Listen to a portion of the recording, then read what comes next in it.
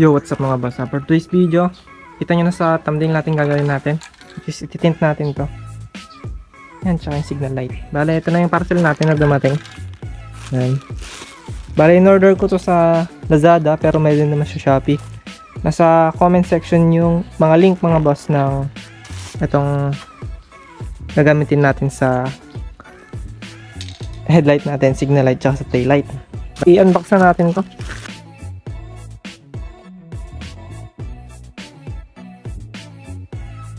Yun, so yun ang mga boss. Bale, ito yung itsura niya, boss ni. Yan, number 1000, black tint.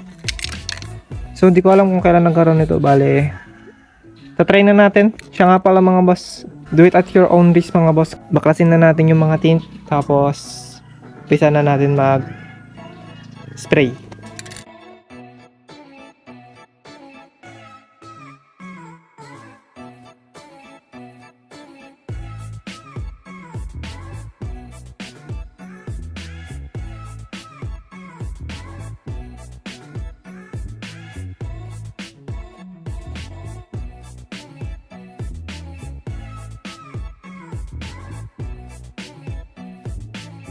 Papakita ko muna pala sa inyo nung wala tint.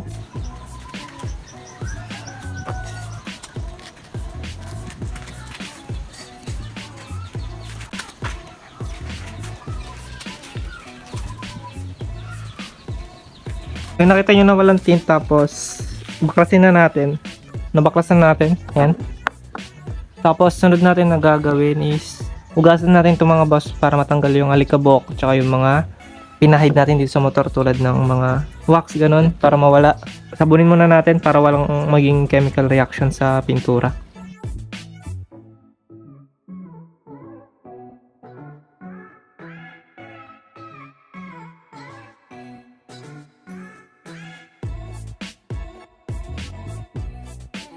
Ipatuyin muna natin siya. Tapos pag natuyo, spray na tayo. Tapos tuyo na siya. Bali mag-spray na tayo. So unahin na natin yung headlight yung headlight na unahin natin, sunod natin itong signal light, tsaka yung huli natin tail light. Ito pala yung ano ulit. So yung mga bus tong bus ni Black Tint available to sa Shopee tsaka sa Lazada. Nasa comment section yung link, pwede nyo i-click tsaka doon na lang kayo umorder. Yan. So mura lang na din naman tong nasa around 112 lang. Yan. Ba bago natin applyan, shake muna natin. So apply na tayo ng ano, first coat bago nyo gamitin, spray nyo muna. So, ay, first coat na tayo.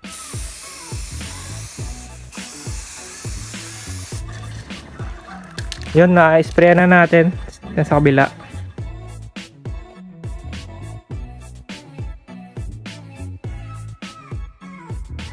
So, first coat, 10 minutes interval tayo. Bali yung signal light muna, itabi muna natin to. So, next na natin to signal light.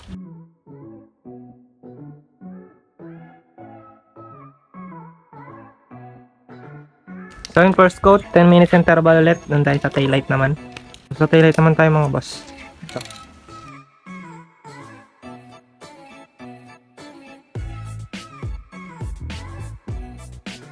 Ayan, patuloy na rin natin yan. Ganun din. 10 minutes interval. Tapos balik tayo sa second coat. Mga boss, uh, second coating tayo.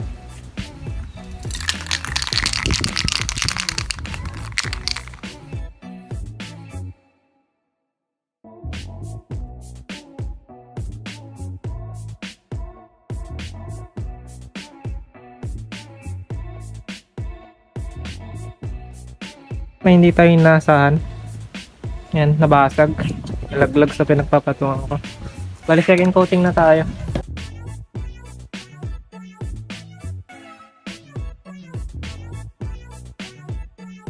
Third coating na, na tayo sa headlight. Bali, last coating na to.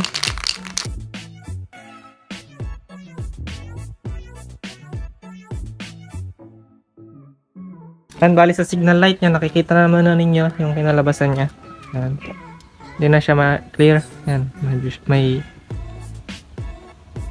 medyo smoke na siya. Tignan. Yan. Bali, dalawang coat pa dito. Pangatlo to. Bali, ito naman yung i-coat. I third coat natin.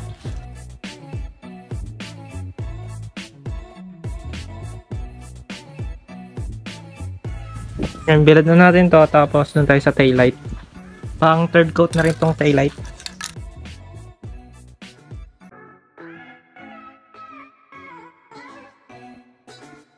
Last coating tayo sa signal light. Tapos, sa taillight isa pa. So, last na coating na natin sa signal light.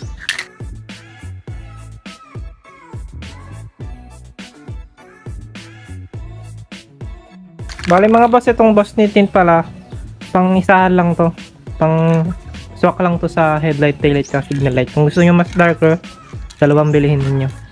So ako isa lang, kaya hindi masyado maitim. So, coat na natin to tapos patuloy na lang ang signal light, kabit na natin. Tapos sa headlight, tapos na din. Gang tatlong coating lang ako doon, ayoko ng madilim kasi magkakaroon siya ng effect sa ilaw natin. So, yung taillight tayo.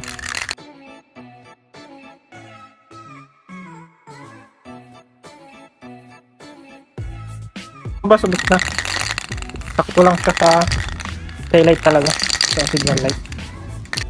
Bali ito yung headlight. Yan. Patutuyuin na lang natin tapos ikabit na natin. Mga boss. Kung napapasin nagda tayo ng pesto pumasok tayo. Kasi umuulan na. Yan malimlim. Bali patuyuin muna natin siya sa araw. Ayun nalabasan niya ngayon. Yan napaka tint masyado. So ayan. Bali Pangalawang araw to kasi nabutan tayong ulan kahapon. Makulimlim. Hindi natin napatuyo. Ayan, nag-coating tayo ulit ng tigisa sila. Pero sa headlight din ako nag-coating. Taillight na lang tsaka signal light. So ayun pa. Tuwin muna natin mga 30 minutes siguro. Tapos tsaka natin siya ikabit dun sa motor natin. Napakakinis nung tsura niya. Napakakintab. Tapos nawala na rin yung mga scratch nung ano dati kong signal light, di ba may mga gas-gas kasi yan, nawala. Maganda rin pala itong Black Tip. So, update dun sa may can mga boss, dahil ubos na. Pang saktual lang siya dyan talaga. So yun ha, bali patuloy na natin tapos papakita sa inyo yung resulta.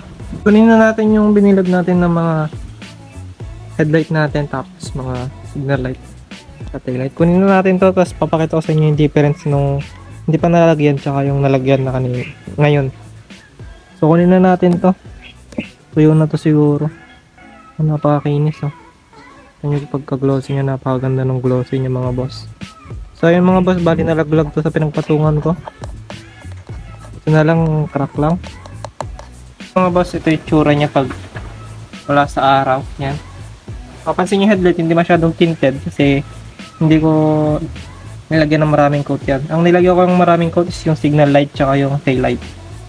Yan. Kung napapansin nyo mga boss, glossy finish siya. Yan, napakaganda.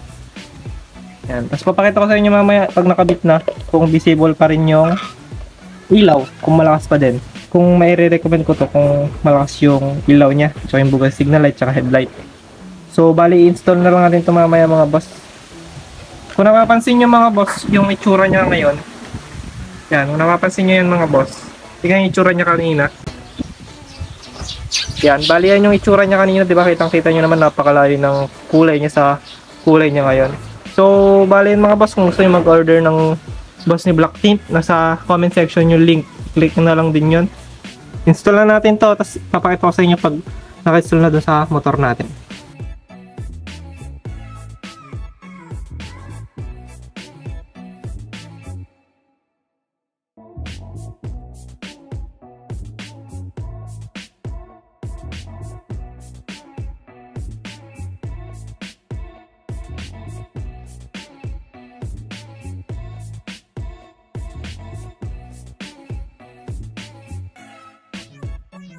Na-install na natin tapos na. Yan. Bali yan itsura nya yan.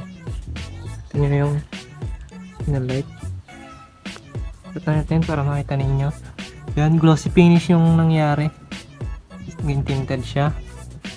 Sa inyo sa mga signal light. Yan tapos sa tail light naman tayo. Yan tail light so try natin ng may signal light kung makikita pa o hindi na on natin yung headlight muna pala high natin para makita natin Yan. So, ayun, visible pa naman. Tapos, signal light natin.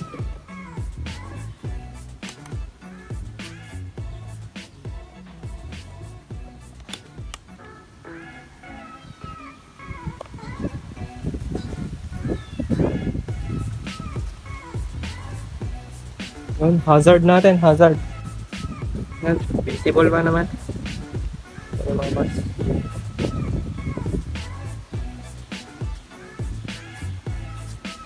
Visible pa naman yung headlight pati yung signal light. Sa likod tayo.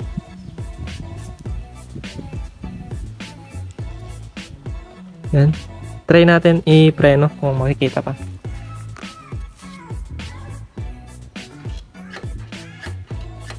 So ayun, visible naman mga boss. Maraming salamat sa panonood niyo mga boss.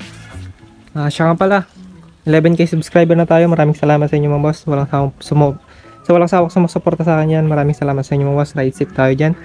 Tapos mga boss, yung link ng pinagbilang ko ng boss ni nasa comment section. Click nyo na lang yan. Tapos order kayo.